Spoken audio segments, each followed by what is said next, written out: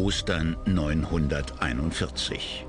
König Otto ist seit fünf Jahren Herrscher des Ostfränkischen Reichs. Aber Ruhm und Macht können den König nicht schützen vor Neid und Hass.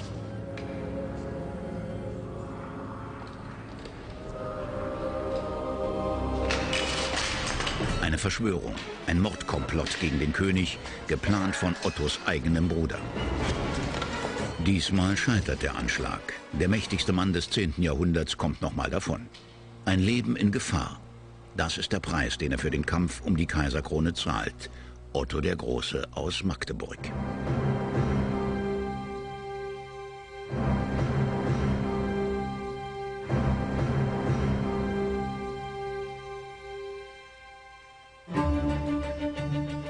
Auf dem Höhepunkt seiner Macht beherrscht Otto Gebiete vom Norden bis ans Mittelmeer, hat Verbindungen zu Byzanz und Afrika. Er wird in Rom zum Kaiser gekrönt und legt den Grundstein für das Reich, das später das Heilige Römische Reich Deutscher Nation genannt wird und bis 1806 besteht. Der Weg dahin ist lang. Ottos Leben ist geprägt von Familienfäden und Mordanschlägen, grausamen Kriegen und politischen Intrigen. Herrschaft im 10. Jahrhundert ist eine unsichere Sache. Drei Frauen begleiten Ottos Lebensweg. Magdeburg ist seine Lieblingspfalz. Von hier aus beginnt er seine blutigen Missionszüge in das Land der heidnischen Slawen.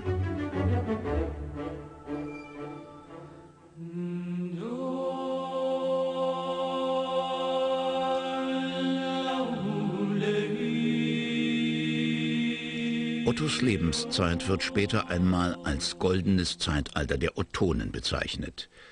Aber diese tausend Jahre zurückliegende Epoche ist eine der quellenärmsten der Geschichte. Sicher ist, dass Otto 912 in Wallhausen an der Aller geboren wird, aber viel mehr wissen wir über seine ersten Lebensjahre nicht. Dass uns überhaupt Einzelheiten aus dem Leben Ottos des Großen überliefert sind, verdanken wir einem Mönch, Widukind aus Korvei. Er wird sehr wahrscheinlich im Jahr 968 beauftragt, die Geschichte des Aufstiegs der Sachsen zu schreiben.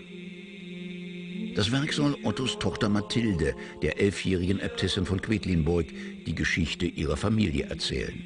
Denn der Kaisertochter steht Großes bevor. Von Quedlinburg aus wird sie die Geschicke des Landes lenken. Widukind ist für diese Aufgabe wie geschaffen. Er ist nicht nur mit dem Herrschergeschlecht verwandt, der Überlieferung zufolge hat er Kaiser Otto mindestens 20 Mal getroffen. Seine Sachsengeschichte beginnt er mit den Worten Herrin Mathilde, wenn du die Taten deines so mächtigen Vaters und deines ruhmreichen Großvaters durch meine Arbeit der Nachwelt überliefert lesen wirst, kannst du noch tugendhafter und ruhmreicher werden. Hier in der Krypta des Quedlinburger Doms liegt Mathildes Großvater Heinrich begraben. Mit ihm fängt im Jahre 919 der Aufstieg der sächsischen Herzöge zu kaiserlichem Ruhm an. Die Legende berichtet, Heinrich, auch der Vogler genannt, ist in Quedlinburg beim Vogelfang, als ihm die Nachricht von seiner Königswahl überbracht wird. Hoch des Sachsenlandes Stern sei gerufen worden. Da ist Otto sieben Jahre alt. Tatsächlich muss sich Heinrich die Königskrone hart erkämpfen. Im 10. Jahrhundert genießt derjenige Ansehen und Macht, der ein guter Kriegsherr ist. Und Heinrich ist überaus erfolgreich. Ganz besonders bei seinen Feldzügen gegen die heidnischen Ungarn und Slawen. Davon profitiert auch sein Sohn Otto. Inzwischen 17-jährig beweist er sich auf einem Feldzug und bekommt dafür eine slawische Prinzessin, Kriegsbeute und Ottos erste große Liebe. Weder ihr Name noch ihre genaue Herkunft sind überliefert. Aber so viel ist sicher. Sie gebiert Otto einen Sohn, Wilhelm, den späteren Erzbischof von Mainz. Er wird einer der großen Gegenspieler Ottos werden. Doch die junge Liebe hat keine Chance. Vater Heinrich reißt das Paar auseinander. Die Slawin wird ins Kloster geschickt und Sohn Otto muss, machtpolitisch sehr vorteilhaft, eine englische Königstochter heiraten. 929 feiern Otto und Editha in Quedlinburg Hochzeit. Familienpolitik ist Machtpolitik, für private Leidenschaften ist da im 10. Jahrhundert kein Platz. Und Heinrichs Machtpolitik, so berichtet Widukind, trägt Früchte. König Heinrich wurde von Tag zu Tag mächtiger, stärker und berühmter. Er brachte das Königreich, das unter seinen Vorgängern überall durch innere und äußere Kriege erschüttert war, wieder zusammen, einigte und befriedete es. Gestärkt durch seine Erfolge leistet sich Heinrich etwas absolut Ungewöhnliches. Er stellt auf einem Hoftag 929 eine sogenannte Hausordnung vor und bestimmt darin Otto zu seinem alleinigen Nachfolger. Das gab es noch nie. Bisher erbten alle Söhne gleiche Teile des Landes und der Macht. Aber Heinrichs Unterschrift macht es zum Gesetz. Otto bekommt alles. Seine Brüder Heinrich und Tankmar gehen leer aus. Sie sind bitter enttäuscht und sinnen auf Rache. Ein schlechtes Omen für Ottos spätere Regentschaft. Heinrichs Hausordnung bestimmt außerdem Magdeburg zum Hochzeitsgeschenk für Editha. Hier verbringt das junge Paar seine ersten Jahre. Zu den wenigen Zeugnissen dieser Epoche gehören die beiden Figuren im Magdeburger Dom. Erhalten ist hier auch die Familiengrabstätte, die Otto einrichten lässt. Magdeburg soll religiöses Zentrum werden. Über die Jahre wird er viele Reliquien hierher bringen. Im 10. Jahrhundert ist das Leben in christianisierten Gebieten untrennbar mit Gott verbunden. Auch Otto ist natürlich ein frommer Herrscher mit einer Aufgabe. Er will die Slawen missionieren. Und Ausgangspunkt seiner Missionszüge wird oft die Pfalz an der Elbe sein. Seine großen Pläne für Magdeburg werden Otto viel Ärger bescheren und trotzdem die Krönung seines Lebenswerks sein. So stellt Heinrich mit seiner Hausordnung und der Magdeburg-Schenkung an Editha die Weichen für Ottos weiteren Lebensweg. Als Heinrich alle Angelegenheiten gebührend geregelt hatte, starb er in der Pfalz Memleben. Sein Körper wurde von seinen Söhnen in die Stadt Quedlinburg überführt und unter dem Jammer und den Tränen vieler Stämme begraben.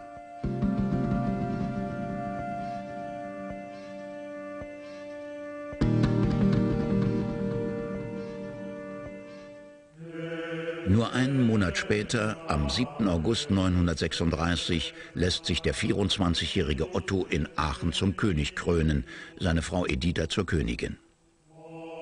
Hier im Aachener Dom und auf diesem Thron wurde schon Karl der Große gekrönt.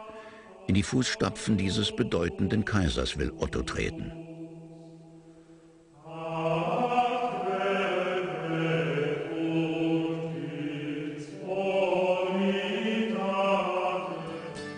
Mit einem rauschenden Krönungsmahl demonstriert der neue König seine Macht. Seine Gefolgschaft zeigt sich ergeben. Die Herzöge taten Dienst. Der Herzog der Lothringer, Giselbert, organisierte alles. Der Schwabe Eberhard kümmerte sich um den Tisch, der Franke Hermann um die Mundschenken und der Bayer Arnulf sorgte für die Ritterschaft. Mit ihrem Dienst an der Königstafel zeigen die Herzöge, dass sie Ottos Königsmacht akzeptieren und ihm auch später zu Diensten sein wollen. Solche symbolischen Handlungen werden in einer Zeit, in der kaum jemand lesen oder schreiben kann, von allen verstanden.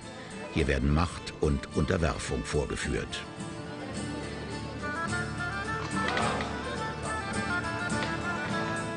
Einer bleibt diesem Ritual demonstrativ fern. Ottos Bruder Heinrich. Er neidet Otto Krone und Alleinherrschaft. Genauso wie sein Bruder Tankmar. Beide waren bei der Thronfolgeregelung Vater Heinrichs übergangen worden. Jetzt planen sie einen Aufstand, der fast im Brudermord gipfelt.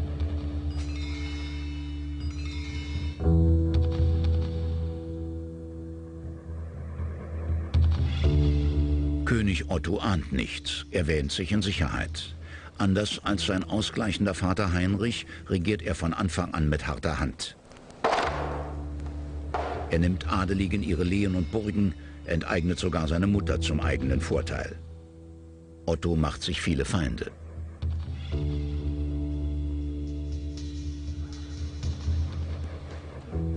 So finden seine beiden Brüder schnell Anhänger für ihren Aufstand gegen den König.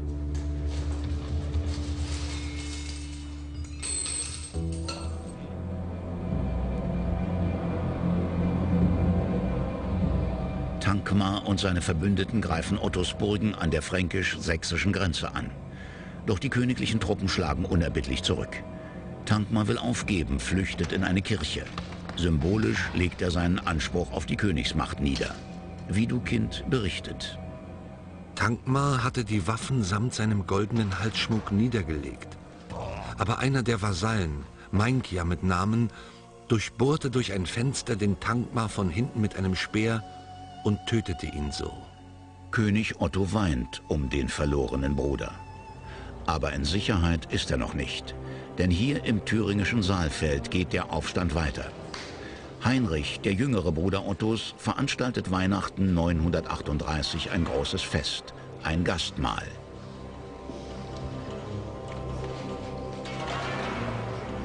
Mit einem solchen Ritual zeigt er deutlich, er will König werden. Deswegen führt er sich auf wie ein König. Er lädt die Großen und Mächtigen des Reiches ein und wirft mit Gütern und Geschenken um sich. Für alle ist offensichtlich, Heinrich greift nach der Königskrone. Heinrich, der auf das Königtum versessen war, beschenkte sehr viele und brachte dadurch die meisten der Gesellschaft auf seine Seite. So gewinnt Heinrich in den folgenden drei Jahren immer mehr Anhänger und erobert in blutigen Schlachten große Gebiete aus Ottos Machtbereich. Dass Otto viel auf Reisen ist, erleichtert Heinrichs Vorhaben. Denn Herrscher haben im 10. Jahrhundert keinen festen Wohnsitz. Otto zieht mit seinem Gefolge von bis zu 1000 Leuten von Pfalz zu Pfalz. Nur in einem großen Reich kann man nicht überall gleichzeitig sein. Ein ferner Herrscher aber wird schnell zum schwachen Herrscher. Also braucht König Otto Verbündete, Herzöge, die an seiner Stelle die Königsherrschaft aufrechterhalten.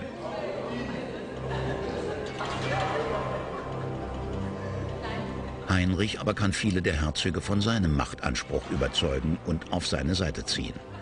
Eine tödliche Bedrohung für Otto, wie Widukind empört berichtet. Die Sache erwuchs zu so gewaltigem Frevel, dass sie den Plan fassten, am Osterfest in der Pfalz Quedlinburg den König zu töten und Heinrich die königliche Krone aufzusetzen. Ein Mordanschlag, vom eigenen Bruder geplant, am Grab des gemeinsamen Vaters. Noch dazu am heiligen Osterfest. Doch der Plan wird aufgedeckt. Wie Otto dahinter kommt, darüber schweigen die Quellen. Aber eins wissen wir, er straft hart. Viele Anführer lässt er töten, andere müssen teuer zahlen. Diese Kirche in Wahlbeck nahe Magdeburg lässt einer der aufständischen Grafen als Zeichen der Sühne bauen. So grausam er auch Gegner straft, in der Familie lässt Otto milde walten. Seinem Bruder verzeiht er.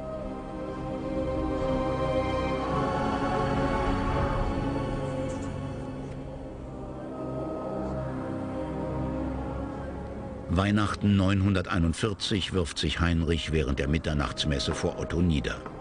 Ein ritualisierter Symbolakt. Im 10. Jahrhundert ist der Kuss das Zeichen der Vergebung.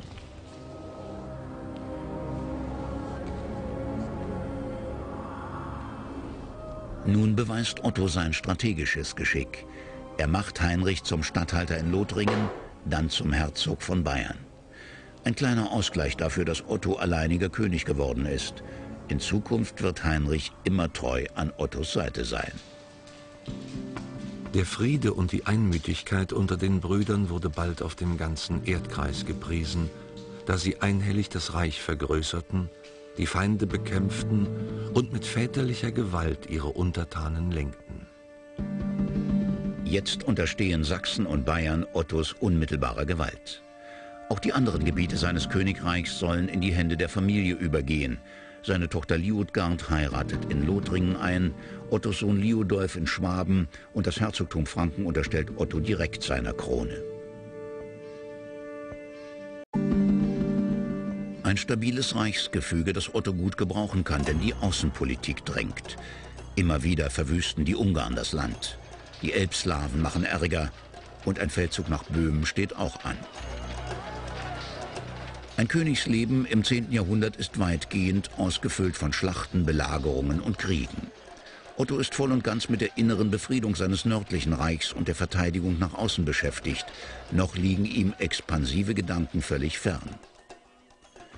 Und dann trifft Otto ein ganz anderes Unglück. Mit 34 Jahren wird er Witwer. Das Jahr 946 war bemerkenswert durch einen Trauerfall nämlich den Tod der Königin Editha seligen Andenkens, deren Sterbetag am 26. Januar in Magdeburg mit den Klagen und Tränen aller Sachsen begangen wurde. Nach dem Tod der Königin übertrug Otto die ganze Fülle seiner Liebe auf seinen einzigen Sohn Liudolf und machte ihn zu seinem Nachfolger als König. Liudolf wird also mit 16 Jahren zum alleinigen Thronfolger bestimmt. Genauso wie es schon Vater Heinrich mit Otto gemacht hatte. Aber auch dieses Mal ist damit die Saat für den nächsten Familienstreit gelegt. Denn es kommt ganz anders, als Otto denkt.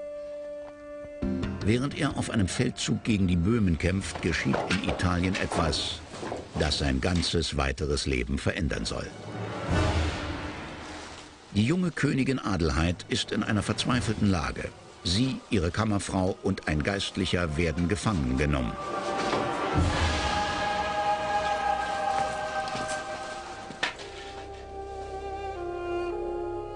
Was war geschehen? Adelheids Mann, der erst 25-jährige König Lothar von Italien, ist gestorben und hinterlässt die 19-jährige als Witwe, ohne Thronfolger. Ein lombardischer Markgraf, Berengar von Ivrea, will diese Königskrone. Aber auch der sehr viel mächtigere König Otto hat schon mal mit dem Gedanken einer Machtausdehnung nach Italien gespielt.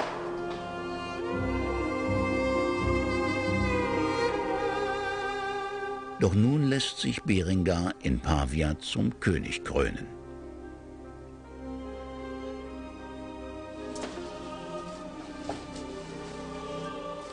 Adelheid ist ihm ein Dorn im Auge. Beringer befürchtet, dass die ehrgeizige und vermögende Königswitwe selbst auf den Thron will. Vorsichtshalber nimmt er sie am 20. April 951 gefangen und lässt sie in einer Burg oberhalb des Gardasees einkerkern.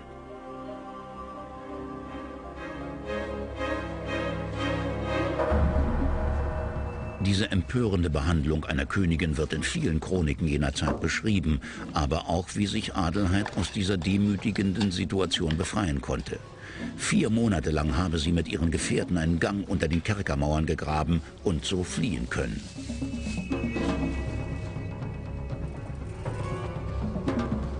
Nur nachts seien sie unterwegs gewesen, tagsüber versteckten sie sich und seien so Berengar und seinen Häschern entkommen. Schließlich hätten sie Zuflucht bei dem befreundeten Bischof Adalhard von Reggio hier auf der Burg Canossa gefunden. So oder ähnlich berichten es die Quellen. Und wenn auch das Schicksal dieser schönen Königin viele lyrische Ausschmückungen erfahren hat, in einem sind sich die Chronisten einig. Die Königin gewinnt den Kampf durch ihre Stärke und Klugheit.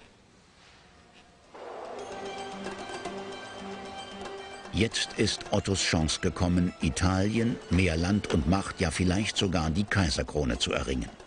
Und Berengar zu verdrängen. In Widukinds Sachsenchronik liest sich das so. Da Otto die Vorzüge der Königin Adelheid nicht verborgen blieben, beschloss er, sich unter dem Vorwand einer Romreise aufzumachen – und als man in der Lombardei angelangt war, versuchte er mit Geschenken aus Gold die Liebe der Königin zu ihm als vorteilhaft erscheinen zu lassen. Nachdem er zuverlässig ins Bild gesetzt war, heiratete er sie und erhielt mit ihr die Stadt Pavia, die königliche Stätte. Adelheid ist glücklich, auch wenn ihr neuer Ehemann etwas ungebildet ist und die Zustände im Norden nicht so komfortabel sind. Sie soll Otto erst einmal beigebracht haben, nach dem Aufstehen Guten Morgen zu sagen. Immerhin, sie heiratet den mächtigsten Herrscher nördlich der Alpen und wird durch seine Hochzeitsgeschenke die reichste Frau Europas. Eine Entwicklung, die ihren eigenen Machtgelüsten durchaus entgegenkommt. Auch Otto ist zufrieden. Sein erster Italienzug ist erfolgreich, die neue Ehefrau eine zusätzliche Legitimation für seinen neuen Titel König der Franken und Langobarden. Genau wie sich einst Karl der Große nannte. Und wie der will auch Otto jetzt Kaiser werden. Er schickt eine Gesandtschaft nach Rom, doch Papst Agapet II. verweigert Otto die Kaiserkrone. Nichts Ungewöhnliches, zu Ottos Zeiten ist das Ringen zwischen weltlicher und geistlicher Macht noch nicht entschieden. Mal hat der Papst die Oberhand, mal der Kaiser. Diesmal gibt Otto klein bei. Aber das letzte Wort ist in dieser Sache noch nicht gesprochen.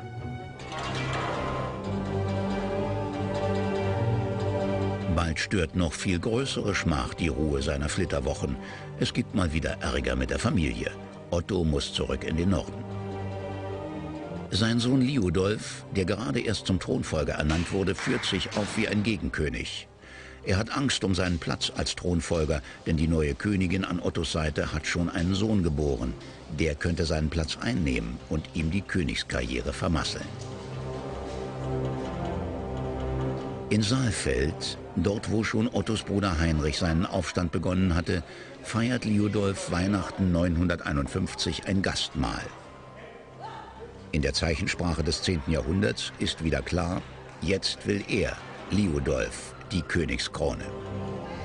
Und wie damals lassen sich viele Herzöge von seinen Versprechen locken. Wie erfolgreich Liudolfs Aufstand gegen den König ist, zeigt sich Ostern 953. Das wichtigste Fest der Christenheit dient dem König dazu, seine Macht und seine Nähe zu Gott zu zeigen. Aber Ostern 953 finden Otto und sein Gefolge weder in Ingelheim noch in Mainz, Köln oder Aachen Aufnahme. Die mit Liudolf verbündeten Pfalzgrafen weigern sich, den König zu bewirten. Otto muss bis nach Dortmund ausweichen, um angemessen zu feiern. Eine Schmach und eine offensichtliche Krise seiner Herrschaft. Was bleibt Otto anderes übrig, als Krieg gegen den eigenen Sohn zu führen? Ungewollt kommen dem König dabei die Ungarn zu Hilfe. Die gefürchteten heidnischen Räuberhorden fallen 954 ins Land ein, verwüsten ganz Franken und verschleppen Tausende von Gefangenen. Ein Chronist schreibt, das Volk der Ungarn übertrifft alle Raubtiere an Grausamkeit. Sie nähren sich, wie das Gerücht geht, von rohem Fleisch, trinken Blut, verschlingen als Heilmittel die Stücke zerteilter Herzen ihrer Gefangenen.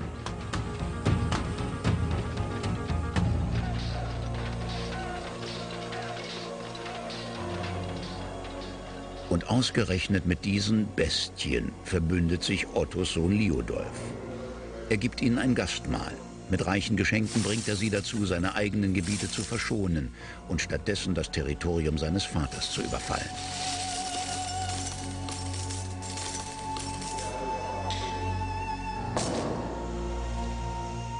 Doch damit ist Liudolf einen Schritt zu weit gegangen.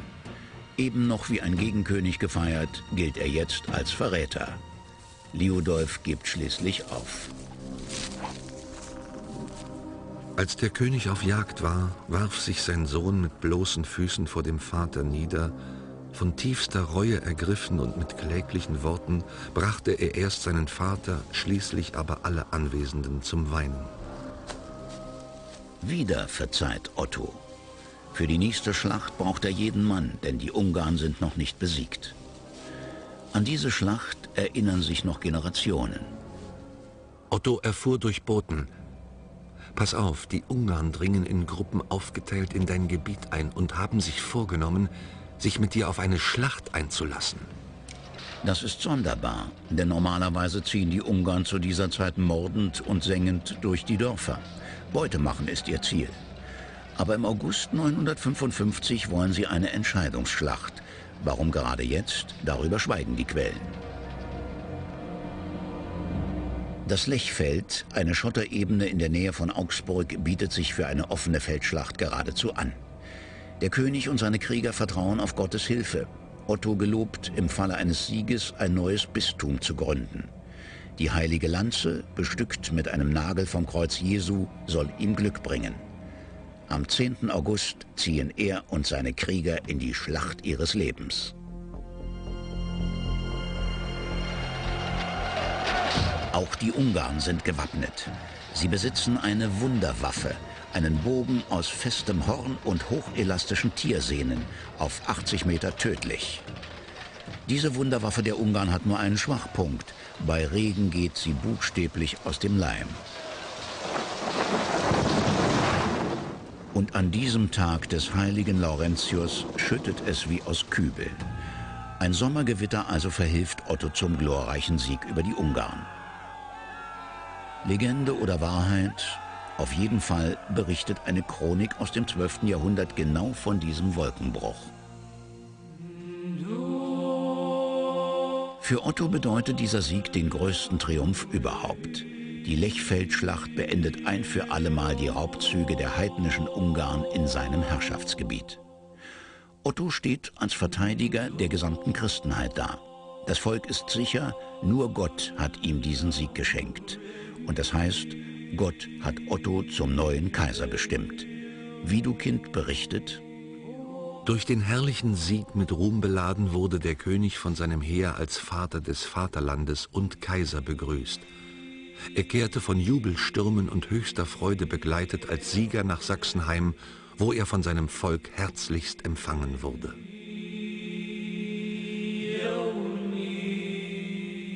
Otto ist auf dem vorläufigen Höhepunkt seiner Macht angekommen. Von nun an nennen ihn die Chronisten Otto den Großen. Als Symbol für den Ruhm des sächsischen Königs steht auch heute noch seine eindrucksvolle Unterschrift. Jetzt kann sich Otto seinen Lieblingsplänen widmen, Kaiser auch in Rom und nicht nur auf dem Lechfeld zu werden und Magdeburg in ein Erzbistum zu verwandeln.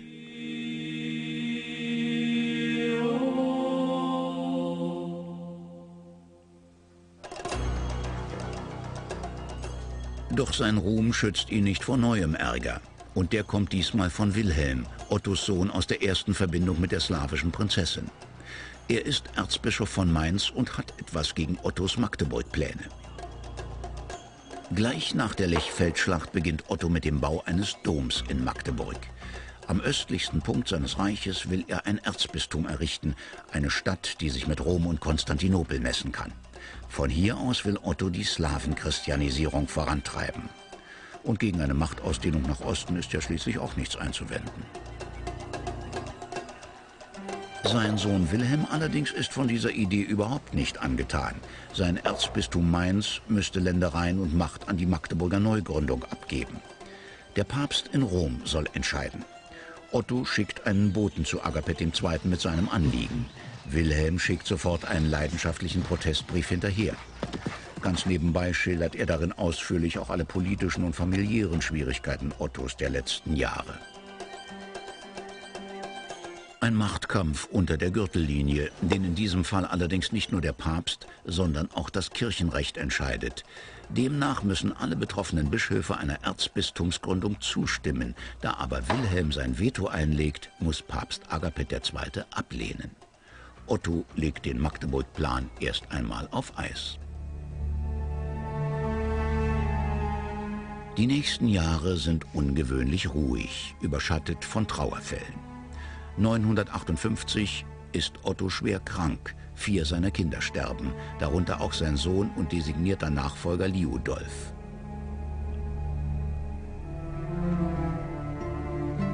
Aber inzwischen hat ihm Adelheid schon den neuen Thronfolger geboren, Otto II.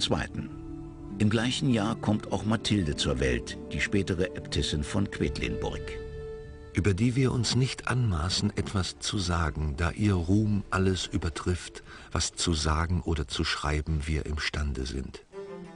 Da verändert wieder einmal Italien Ottos Leben. Im Herbst 960 sind dort die Zustände katastrophal. Berengar, der genau zehn Jahre zuvor Adelheid verfolgte, hat seine Machtposition wieder ausgebaut. Weiter südlich, in Rom, führt der neue Papst Johannes XII. ein äußerst unchristliches Leben. Er treibt Unzucht, trinkt Wein, geht auf die Jagd und trägt Waffenschmuck. So zumindest kolportieren es seine Gegner. Das Ansehen des Papstes ist zutiefst beschädigt, eine Chance für Berengar, seine Machtgelüste nach Rom auszudehnen. Papst Johannes beschließt, Otto um Hilfe zu bitten. Sie machen einen Deal, der dem einen Schutz bringt, dem anderen die kaiserliche Krone verschafft und einen dritten die Nase kostet. Otto macht sich auf zu seiner zweiten Italienreise.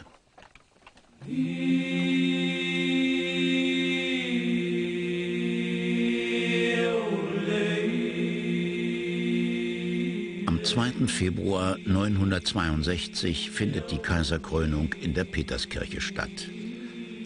Kaiser von Gottes Gnaden, wozu ihn das Volk schon nach der Lechfeldschlacht gemacht hatte, das erfüllt sich jetzt durch den Segen des Papstes. Die Kaiserkrone soll Otto die Kraft verleihen, sich gegen den Teufel und alle irdischen Laster zu wappnen.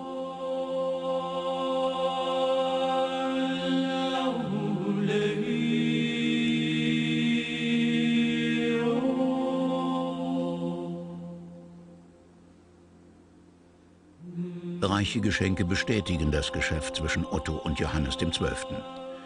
Der Papst schenkt dem Kaiser Reliquien, durch die er Gott und der Erlösung besonders nahe sein kann. Außerdem gibt er seine Zustimmung zum Erzbistum Magdeburg. Zumindest der Papst steht Ottos Plan nicht mehr im Weg. Als Gegenleistung für die Kaiserkrone erkennt Otto die Ansprüche des Papstes auf gewaltige Ländereien an, die der Kirche rund 600 Jahre zuvor vom römischen Kaiser Konstantin angeblich geschenkt worden waren. Festgehalten ist Ottos Zusicherung in einer bekannt gewordenen Urkunde, dem Ottonianum. Doch dann gesteht ein Kardinaldiakon, er selbst habe eine Urkunde geschrieben und sie als das Originaldiplom Kaiser Konstantins ausgegeben. Otto hat also schon bald nach seiner Zusicherung erfahren, dass die berühmte konstantinische Schenkung eine Fälschung ist. Endgültig bewiesen wird das erst im 15. Jahrhundert. Aus Wut über die gelungene Täuschung bekämpft Otto den Papst ab Herbst 963 erbittert. Der Papst aber lässt, dem Chronisten Liutprand von Cremona zufolge, dem Verräter fürs Petzen die Nase abschneiden, die Zunge rausreißen und zwei Finger verstümmeln.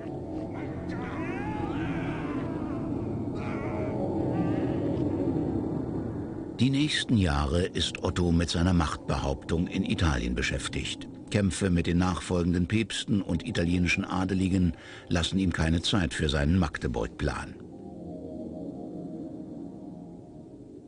Mittlerweile ist die elfjährige Mathilde das einzige Mitglied der Königsfamilie nördlich der Alpen. Für sie, die Tochter des Kaisers und Äbtissin des Quedlinburger Stifts, schreibt Widukind von Korvey die Sachsengeschichte.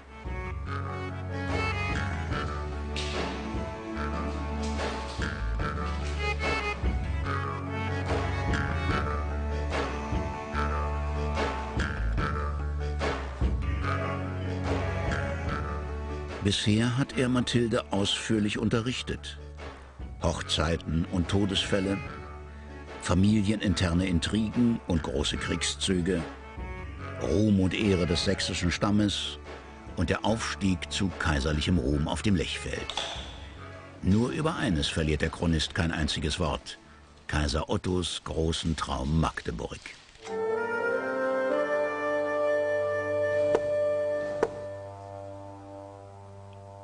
Wir können nur vermuten, dass Widukind zu den zahlreichen Gegnern des Magdeburg-Plans gehört. Auch sein Kloster Korvey müsste Gebiete an das neue Erzbistum abgeben. So ist es nicht unwahrscheinlich, dass ihm der Plan einfach nicht passt.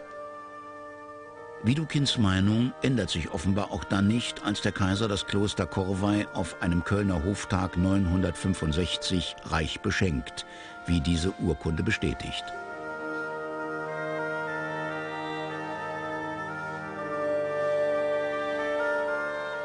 Seit Ottos Versprechen vor der Lechfeldschlacht ein Bistum zu gründen, sind über zehn Jahre vergangen. Ein langer und ermüdender Kampf um diesen großen Traum Magdeburg liegt hinter ihm, aber er gibt nicht auf.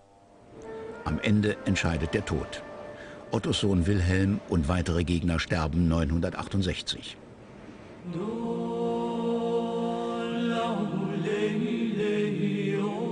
Der Erhebung Magdeburgs zum Erzbistum steht jetzt nichts mehr im Wege. 968 kann Otto endlich sein Siegel unter die Gründungsurkunde setzen.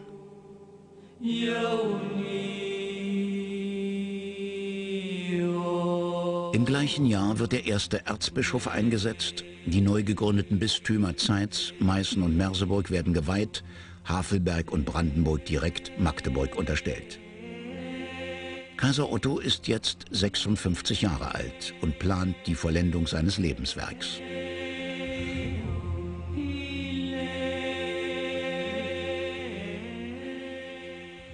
Wie sein Vater Heinrich möchte auch er das Erbe regeln. Sein Sohn Otto II. hat er schon als Nachfolger bestimmt und zum Mitkaiser gekrönt. Jetzt braucht er noch eine standesgemäße Schwiegertochter, wobei die Hochzeit natürlich auch machtpolitisch etwas bringen muss. Da kommt Ende des 10. Jahrhunderts nur eine Verbindung in Frage zum byzantinischen Kaiserhaus.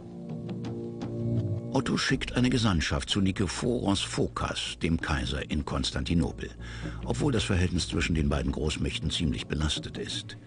Zum einen gibt es Streit um Ländereien in Süditalien.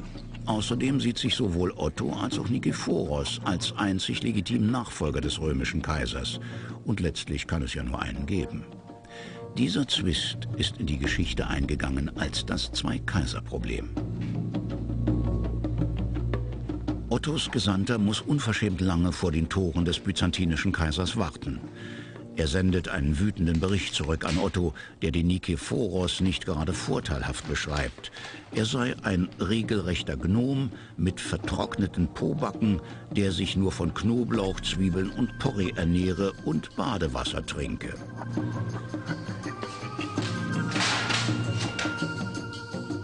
Es gibt Krieg. Es geht um die Ländereien in Süditalien und es geht um Ruhm und Ehre. Ganze fünf Jahre kämpft Otto immer wieder gegen die byzantinischen Truppen.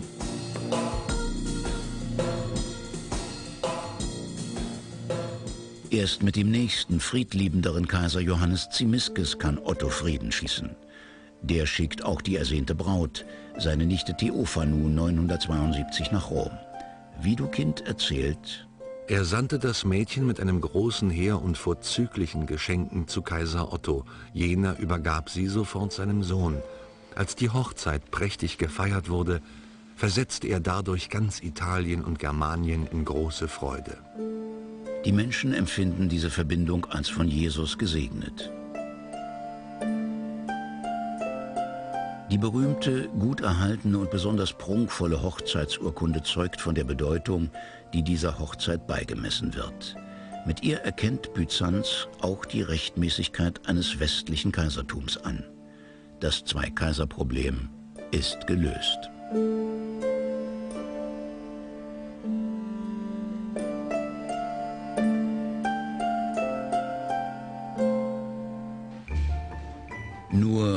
Otto weilt seit sechs Jahren in Italien. Ihm kommt zu Ohren, dass sein Stellvertreter in Sachsen, Hermann von Billung, ein Gastmahl gegeben hat und inzwischen demonstrativ im königlichen Bett schläft. Eine klare Botschaft an Otto, der auch gleich zurückreist.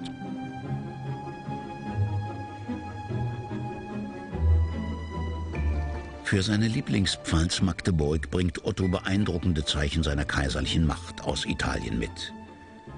In den Magdeburger Dom lässt er diese antiken Säulen aus Ravenna einbauen. Nach dem großen Brand von 1207 bekommen sie auch im neuen Dom einen repräsentativen Platz, an dem sie noch heute zu sehen sind. 973 feiert Otto wieder ein rauschendes Osterfest am Grab seiner Eltern in Quedlinburg.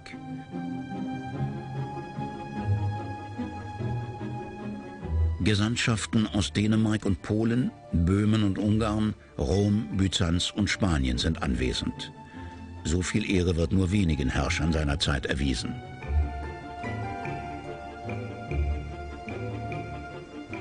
Doch die Feiern zu Ehren der Kaiserpaare sind wohl etwas zu viel für den 60-jährigen Otto. Der 7. Mai 973, den er in der Pfalz Memleben verbringt, endet nicht gut.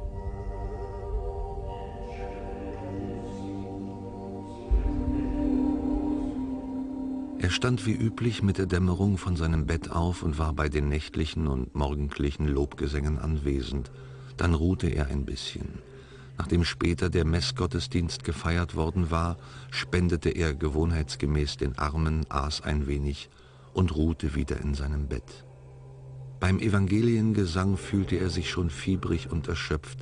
Er verlangte das Sakrament des göttlichen Leibes und Blutes, empfing es und übergab ohne Seufzer mit großer Ruhe seinen letzten Atemzug dem barmherzigen Schöpfer aller.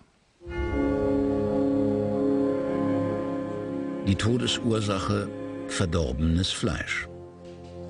Ottos Eingeweide werden in Memleben bestattet, sein einbalsamierter Leichnam wird in Magdeburg beigesetzt. Dazwischen liegt eine 30-tägige Prozession von Memleben nach Magdeburg. Eine bisher unübliche Zeremonie, die Größe und Stärke des von Otto aufgebauten Kaisertums zeigt.